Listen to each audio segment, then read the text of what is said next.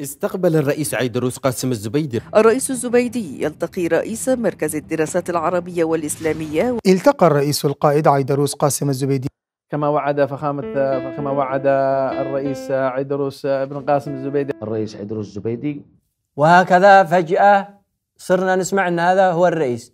كيف طلع؟ لا حد انتخبه ولا حد رشحه ولا عرفنا من طلعه.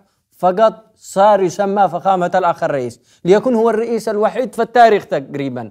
الذي أدى اليمين الدستورية أمام رئيس ثاني في دولة ثالثة ويرفع علم ويلبس لبس دولة رابعة.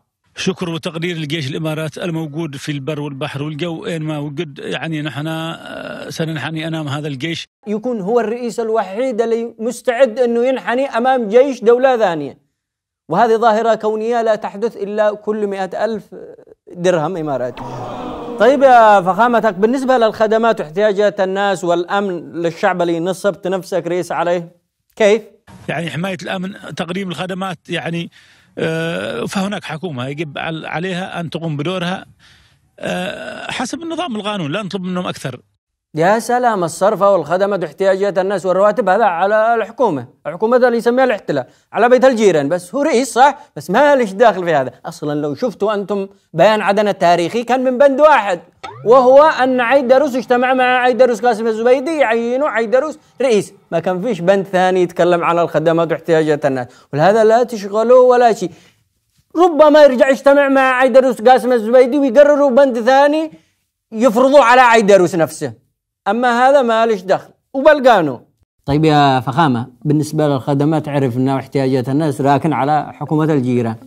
أنت في المستقبل معك خطة إنه تتحمل المسؤولية ما دام بتعتبر نفسك رئيس عندك خطة واستراتيجية لهذا الموضوع؟ آه المجلس الانتقالي الجنوبي في اليمن هل تقدم بمبادرة ما أو رؤية أو خطة أو تصور شامل؟ الإمارات العربية لديها قيادة حكيمة طبعا وتدرك ما عليها وعندها يعني خطط استراتيجية وتتعامل بها.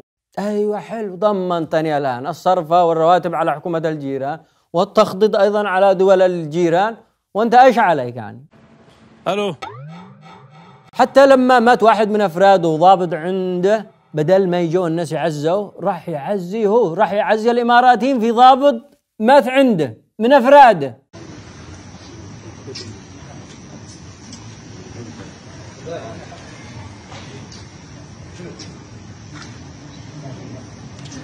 يا عيدروس مش هكذا. لما يكون يموت واحد من أفرادك ولا ضابط عندك ولا واحد من أقربائك الناس يجوا يعزوك. أنت مش تروح تعزي الناس كما تروح تعزي دول على فقيدك.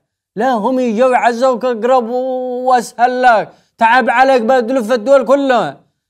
وبعدين ما يلبسوش أسود. الرجال ما يلبسوش أسود في العزاء أنت رايح عند ناس شوف كيف كلهم لابسين أبيض ما فيش إلا أنت أسود. دخلت الصالة الغلط المفروض تصير القسم الثاني حق العزاء. اثنين الشيخ هاني علي بن بريك نائب رئيس المجلس.